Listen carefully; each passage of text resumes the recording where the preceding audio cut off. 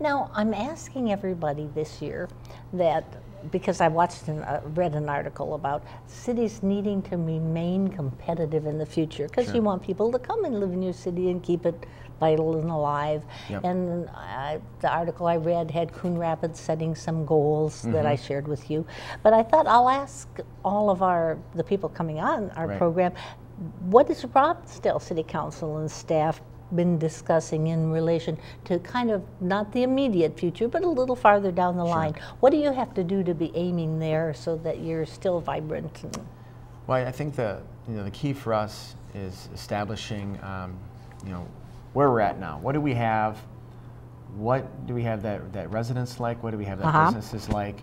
And, and building upon it. Uh, you know, we don't have a lot of large corporations, Uh, right, big right. industrial complexes, so we have a unique situation in that regard.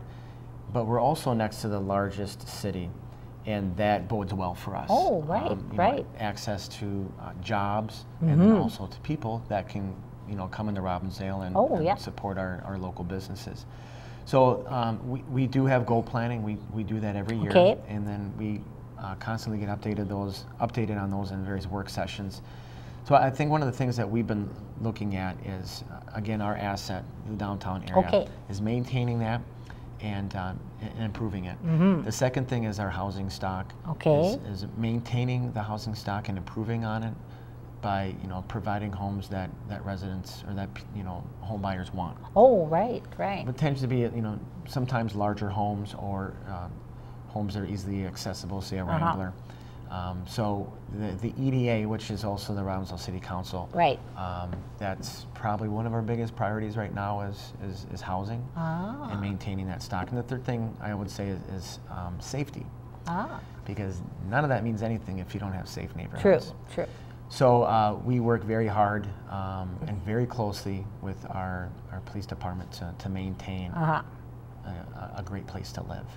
So I, I think we feel that if we can if we can keep those things, our downtown area uh, viable, Right. and uh, you know keep it safe, and then um, you know also maintaining our house, all while staying within our, our budget and Ah, keeping taxes right, low. right. Um, and that's the challenge. Definitely. I, I think those are the things, you know, I think that's similar with a lot of cities, but that's really what our focus is. But when we get into the future a little bit more, right. um, there's things like light rail. Ah, coming, coming up on the horizon. Yes. and so we've begun to start planning for that. And, um, you know, I can't let out too many of the secrets, but we got some things that we're working on to, Okay. um, to take advantage of that if it does happen. right.